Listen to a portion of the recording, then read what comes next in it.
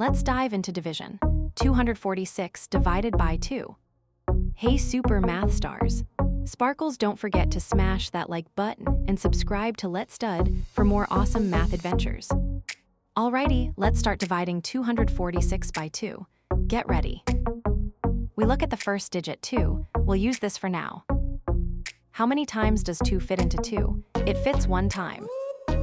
Let's check. 1 times 2 is 2. Now we subtract. 2 minus 2 equals 0. Easy peasy. Awesome, we got the first part of our answer. Let's move on to the next digit. We're doing great. Next up, we bring down the 4. Our new number is 4.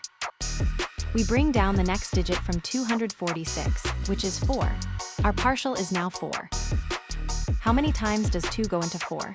It goes 2 times. Let's check. 2 times 2 equals 4. Subtract 4 from 4. What do we get? 0. Woohoo, you're rocking this. Keep that amazing energy up. Ready for the last digit? Let's go. Last step, let's bring down the 6. Our number is 6. We bring down the final digit, 6. Our partial is now 6. How many times does 2 fit into 6? It fits 3 times. Time to check. 3 times 2 equals 6. And 6 minus 6 is 0. We're done with subtraction. You did it, that's the last step. High five. We've reached the end of our division journey for 246 divided by 2 amazing work.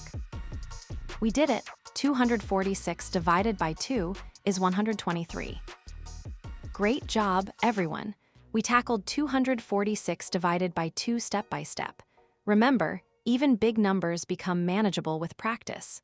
Keep practicing, and you'll be a long division whiz in no time. That's all for today, Math Explorers. Keep shining bright and check out more fun math videos on Letstud. See you next time. Bye, waving hand.